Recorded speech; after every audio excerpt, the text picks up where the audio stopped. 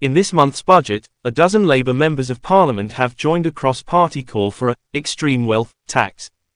In a letter to Chancellor Rachel Reeves, the MPs are calling for a new 2% tax on assets valued at over £10 million, which they say could generate £24 billion annually. Former Shadow Chancellor John McDonnell, former leader Jeremy Corbyn, who was elected as an independent, and two other Labour lords have joined forces with left-wing Labour MPs who were suspended by Sir Keir Starmer. The Greens, Plaid Cymru, the Alliance, the SDLP, and one Liberal Democrat MP also support the call. A statement from the Labour Party has been requested. The details of the Chancellor's first budget, which will be unveiled on Wednesday, October 30th, are being finalised.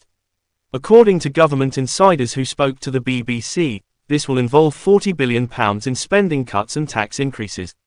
The 30 MPs and peers, in their letter to Reeves, argue that an extreme wealth tax is necessary since, in just two years, between 2020 and 2022, the wealth of billionaires surged by about £150 billion, while wealth tax revenue has remained constant at about 3.4%.